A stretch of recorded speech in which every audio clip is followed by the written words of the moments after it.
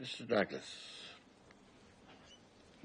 I don't think that I have the intellectual ability to condense 17 years of study and experiment into 17 minutes of explanation.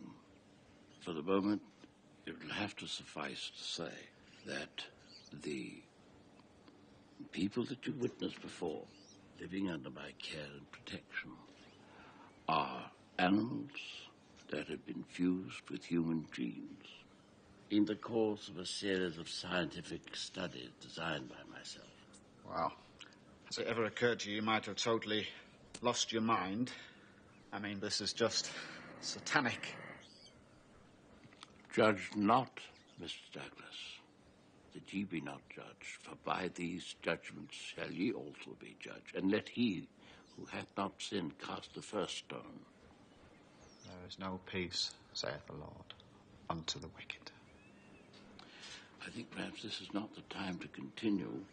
We will have dinner at eight o'clock. I hope that you'll be in another state of mind that will be slightly more receptive.